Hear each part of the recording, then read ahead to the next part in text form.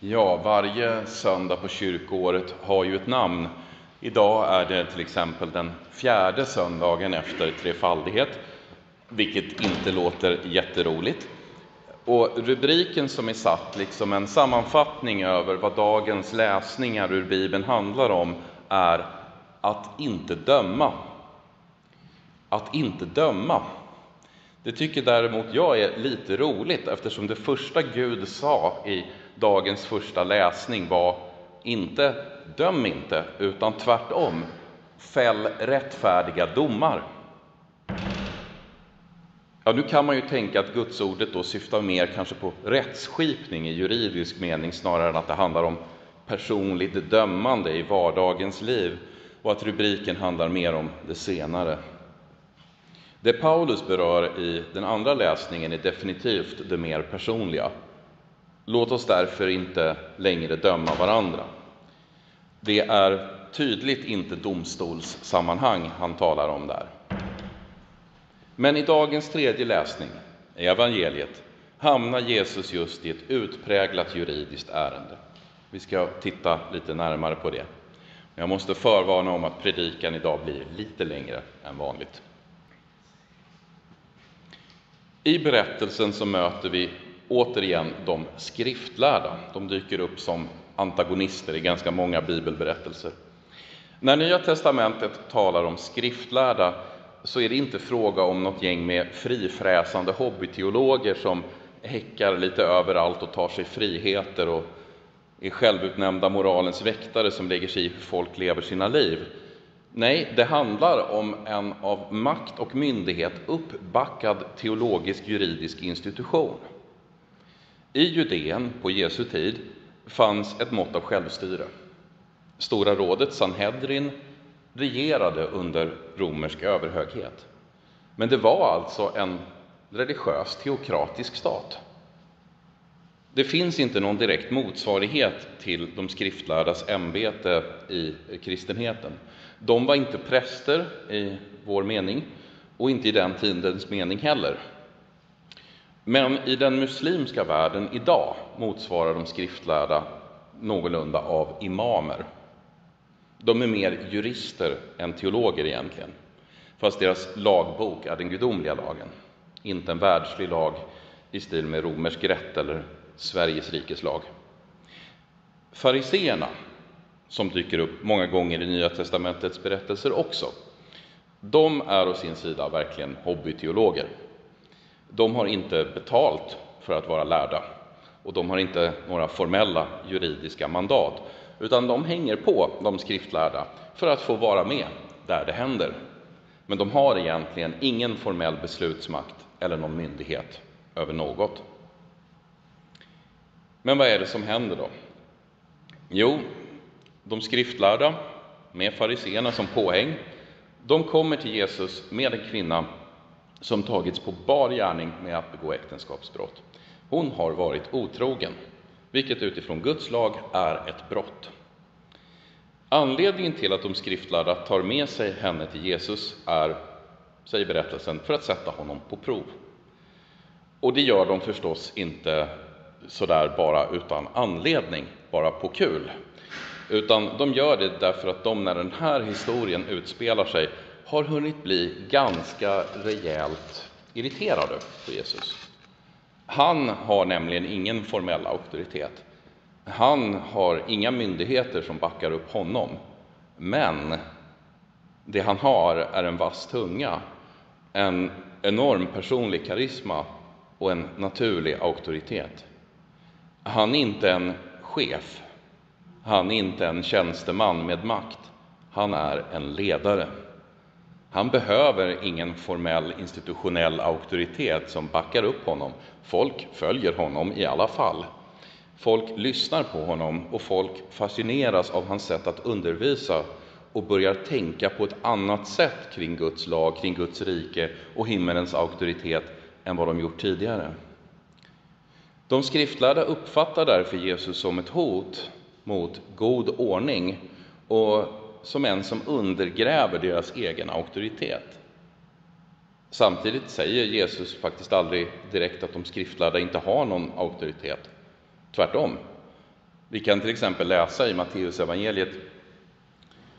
Sedan talade Jesus till folket och sina lärjungar och sa De skriftlärda och fariseerna har satt sig på Moses stol. Gå, gör därför allt vad de lär er och håll fast vid det. Men handla inte som de gör, för de säger ett och gör ett annat. Moses stol är här en omskrivning för läroämbetet med dess juridiska befogenheter. Och Jesus säger visst, åtlyd men håll en högre moralisk etisk standard än vad de skriftlärda och fariseerna gör. Han säger också om inte er rättfärdighet överträffar de skriftlärdas och fariseernas så kommer ni inte in i himmelriket. Vilket givetvis kan tolkas som att han menar att de inte är rättfärdiga, men också som att de är det, men att det inte räcker och att den som lyssnar på Jesus måste ha en högre standard. Hur som. Vi förstår av sammanhanget att de skriftlärda är förgrymmade på Jesus och gärna vill slå tillbaka och skada hans auktoritet och popularitet. Och därför vill de nu sätta dit honom genom att testa honom med en uppenbart skyldig person tagen på bar gärning som han rimligtvis därför måste bekräfta en fällande dom över. Och det kan givetvis bara ses som ett problem för Jesus, som ett test, som ett sätt att klämma dit honom. Givet att han redan är känd för att vara obenägen att döma folk. Hans förkunnelse är, liksom Johannes döparens före honom, eh, salt nog. Omvänd er och tro, gör bot och bättring, Guds rike är nära. Visst, men även om Jesus står för en relativt sträng moral i största allmänhet, så är han i praktiken mild, förstående och oerhört förlåtande i de enskilda fallen. Det vill säga, han tummar inte på vad som är rätt och fel, men han är barmhärtig. Detta är känt och därför är planen nu att få honom att bekräfta en hård dom för att han ska framstå som hård och obarmhärtig. Eller i vilket fall inte som snällare och trevligare än de skriftlärda som ju i kontrast mot honom framstår som ganska stenhjärtade. Men men de skriftlärda begår, eftersom planen är att sätta dit Jesus, ett rejält misstag. De frågar honom, vad säger du? Och det är, om inte ett formellt överlåtande av den juridiska makten i hans händer, så är det i alla fall en fråga ställd i tillräcklig offentlighet för att Jesus i praktiken utnämns till tillförordnad meddomare i det här fallet. Det vill säga, de erkänner Jesus auktoritet och folk står och hör på. Så nu måste han uttala sig, men det innebär också att hans ord måste få betydelse för slutdomen. För annars var det ju väldigt dåligt omdöme av de skriftlärda att fråga honom överhuvudtaget.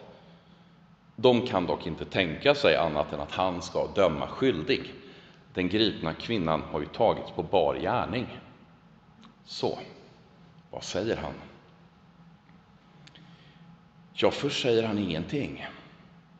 Det står att han ritade på marken med fingret. Han sitter och klottrar. De skriftlärda envisas med frågan och avkräver honom dom.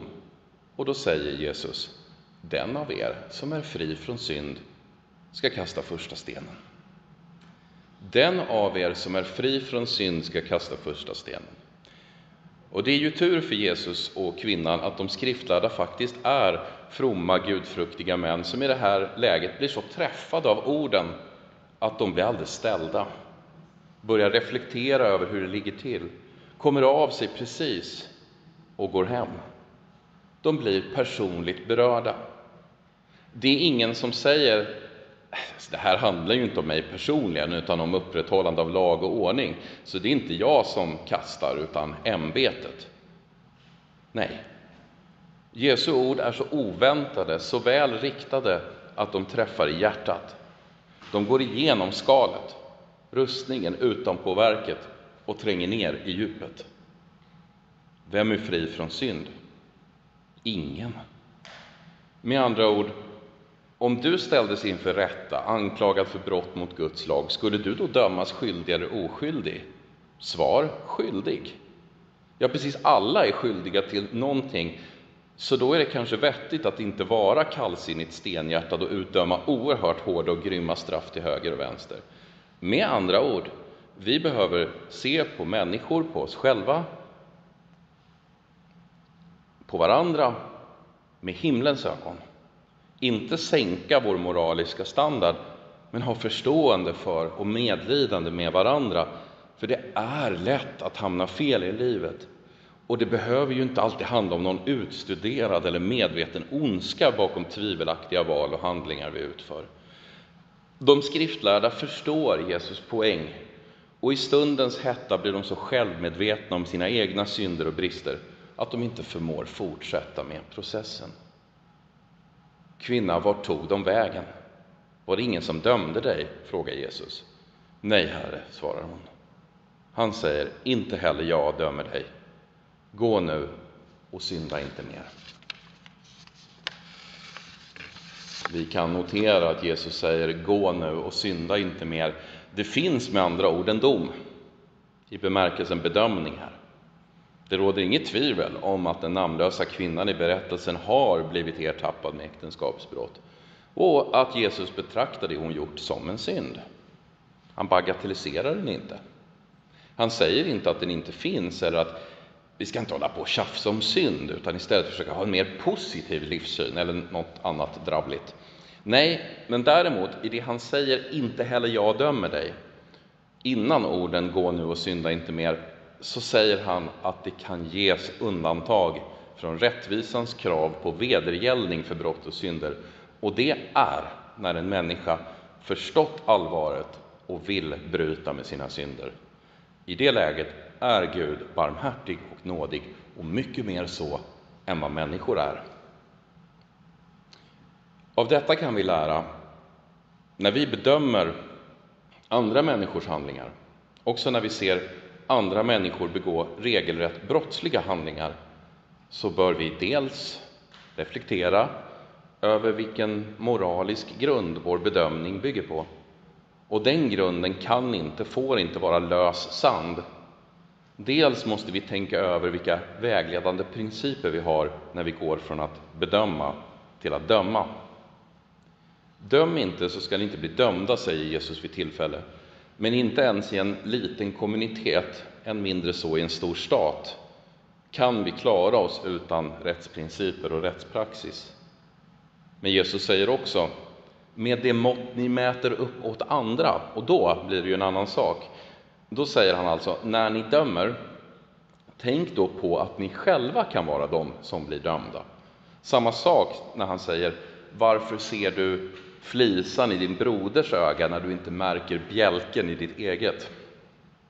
Ta först bort bjälken ur ditt eget öga så kan du se klart och ta bort flisan ur din broders. Alltså, var milda och ha hjärta när ni dömer. Hys medlidande. Var barmhärtiga. Uppbåda er empati. Tillämpa den gyllene regeln. Föreställ dig själv att du är i den anklagades bänk och funderar på hur vill du bli dömd? Om lagen, ja den gudomliga lagen också, å ena sidan är ett hälleberg och inte något mjukt gungfly och något hårt å ena sidan, så ska vi å andra sidan inte ha stenhjärta och järnnävar när vi dömer, utan hjärtan av kött och mjuka händer. Detta kan kanske tyckas självklart, men det är det ju inte. I själva verket är många människor otroligt hårda i hur de tycker att straff ska utdömas. Utom förstås när det gäller straff för sånt som skulle kunna drabba dem själva. Att det finns en genomtänkt moralisk grund, ett rättstänkande med principer och värderingar är inte heller självklart. Och när den grunden är mindre av stadig mark och mer som ett träsk så blir dömandet därefter också. Därför behöver vi förvisso, om vi hamnar i situationer där vi ägnar oss åt dömande av juridisk karaktär, men framför allt i vårt vardagliga mellanmänskliga bedömande och dömande ha en medveten dialog med oss själva, med varandra och med Gud om vad som är rätt och fel, vad som är klandervärt och berömvärt, vad som är dygd och vad som är synd, vad som är ont och vad som är gott. Och även om vi aldrig får fullständiga och uttömmande svar på alla dessa frågor så bör vi sträva efter att kunna besvara många av dem med viss skärpa och klarhet. Men detta samtidigt som vi inte odlar stenhjärtan och blir kalla, hårda och fördömande. För Gud är inte kall, hård och fördömande. Jag vet inte om ni minns eller uppmärksammade proteststormen efter att en före detta polischef satt i tv och ojade sig över en mördares jobbiga livserfarenheter efter att endast flyktigt ha berört att det fanns ett mordoffer och en sörjande familj. Det blev fel och konstigt därför att det var okänsligt och extremt dålig timing. Men i princip, i princip så måste det faktiskt i kristet rättsmedvetande och rättspraxis också ingå ett sådant mått av medlidande att man, ja, också funderar över hur brottslingar mår och inte bara konstaterar onda människor och sen får det vara med det. Det är inte kristet att gulla med brottslingar, men det är banne mig inte kristet att strunta i, eh, och det är banne mig inte kristet att strunta i offren och bara lägga fokus på att hjälpa förövarna. Men det är heller inte kristet att eh, avhumanisera brottslingar och reducera dem till någon slags vidriga skadedjur som bara ska utrotas med vilka medel som helst. Och när det gäller synder som inte i världslig, lagisk mening är ett brott, men som vi likväl kan se är synder, så gäller där förstås samma sak. Aposteln skriver Men Gud bevisar sin kärlek till oss genom att Kristus dog för oss medan vi ännu var syndare.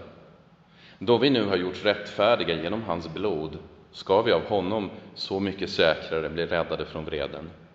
Ty om vi var Guds fiender och blev försonade med honom genom hans sons död, då ska vi, när vi nu är försonade, så mycket säkrare bli räddade genom hans sons liv. Ja, inte bara det, vi har vår stolthet i Gud tack vare vår Herre Jesus Kristus, genom vilken vi nu har vunnit försoningen. Kristus dog för alla gudlösa, skriver aposteln. Kristus dog för oss medan vi ännu var syndare. Rättfärdiga genom hans blod ska vi av honom bli räddade från vreden. Försonade ska vi bli räddade genom hans sons liv. När vi fäller dom över andra så ska vi vara väldigt medvetna om att vi är syndare som dömer andra syndare. Och om vi blir frikända i Guds dom så är det inte kraft av vår egen renhet och rättfärdighet, utan på grund av Guds nåd, på grund av att Kristus betalat vår lösen, vår skuld, sonat rättvisans fordran med sitt blod. Den insikten behöver vi som kristna bära i våra hjärtan när vi bedömer och när vi dömer. Amen.